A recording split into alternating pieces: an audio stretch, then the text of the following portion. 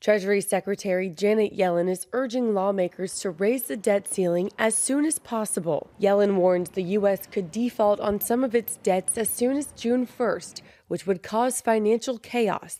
More than 40 Senate Republicans, including Minority Leader Mitch McConnell, have signed a letter to Majority Leader Chuck Schumer saying they won't support an increase without spending cuts. House Republicans passed a bill approving a debt ceiling increase for one year, along with substantial budget cuts.